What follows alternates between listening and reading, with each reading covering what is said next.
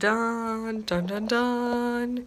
Hey guys, it's Golden Penguin back with another video, which is specifically a Skylanders review of Blades. I know it's been a while since I did a review or a video, but here we go.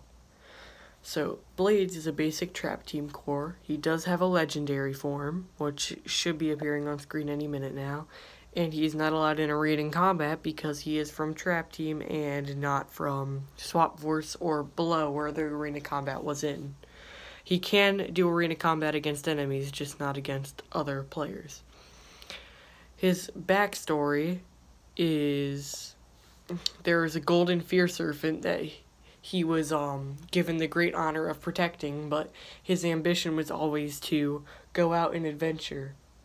Then one day the serpent awoke and um, he, scared to death, was walking down into the chamber where it was at, the serpent saw him and smiled and told him that if he stayed down there with the serpent, then the serpent would go back to sleep. And he, know, knowing that his ambition was less important than the safety of the other people, decided to stay down there with the serpent. And then the serpent disappeared, and Blades found out that the only way to defeat it was to face his fears. Now, as for his upgrades, the first is Wing Slice, where he just does a basic slice with his wings, and if you hold it, he can do a tail stab. Blade Shards, where he'll throw blades forward out of his wings, and you can hit those blades to send them forward at the enemies. Cyclone Swirl, where he'll summon a little tornado that will stay in place and can also suck up the shrapnel and enemies to attack people with. Sharpened Wings, where he'll um, do more damage with his wings. Shard Harder, where his um, shrapnel from his second attack will go farther forward and do more damage. Wind at your back, where his tornado will follow him around instead of staying in place. Then here's the first path, which I don't recommend.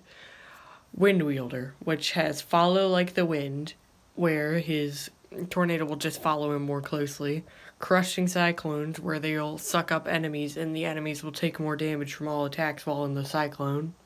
And shielding swirl, where the cyclone will block attacks, like any enemy projectiles. Now, the bottom pass, Shard Shooter, this one I definitely recommend. It got me through a lot. It's really overpowered.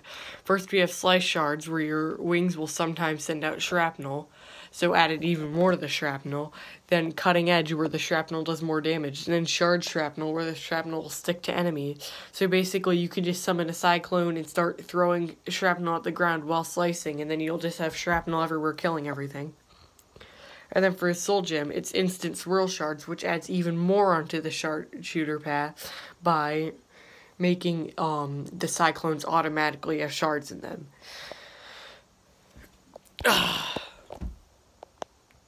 just stretching there.